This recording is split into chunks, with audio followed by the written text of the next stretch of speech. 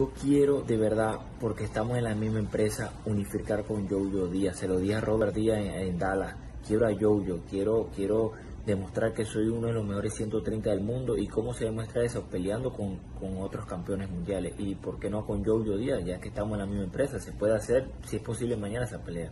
Es un dicho, pero estamos en la misma empresa, no, no, no va a haber dificultad hacer la pelea. A todas las personas esas de Latinoamérica, del boxeo, que les We now go to the judges' scorecard. All three judges have the identical score 113, 112.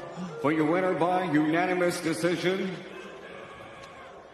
And the new WBA Super Featherweight Champion of the World from Maracaibo, Venezuela, Joaquin Roger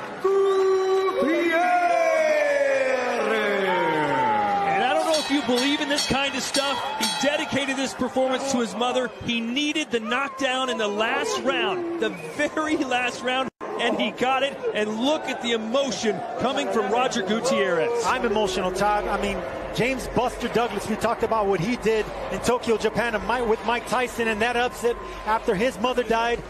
Same thing with Roger Gutierrez here. I mean, this is as best and as emotional as it gets. That's a real fighter right there. Oh! Woo! And the new. And the new, baby. IBF. Hell yeah. Champion of the world. Hey, hold it up real quick, Joe. Hey, we can't. We gotta go to the doctor. Hey, we gotta go to the doctor. Joe. The doctor, the commissioner. Ah!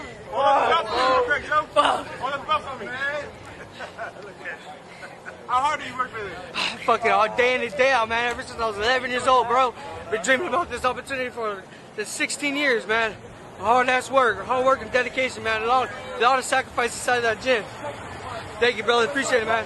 Woo! Message to everyone that needs uh, motivation to believe in themselves. As long as, as long as you believe in yourself, watch out for the step. And the new, baby. As long as you believe in yourself and you push, man, you got this shit. And fuck anybody, fuck what everybody says, dude. Just keep pushing and focus on yourself and believe in yourself, and you can overcome anything. Look, I got a big ass cut in the second round, bro, and I still overcame this shit. That's right, baby.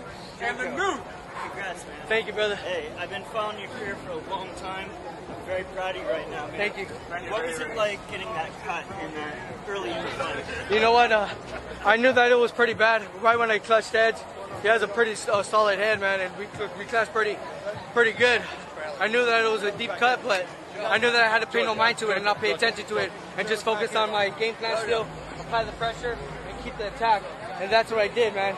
I knew that it was a championship fight. I wasn't gonna let go. Let's go.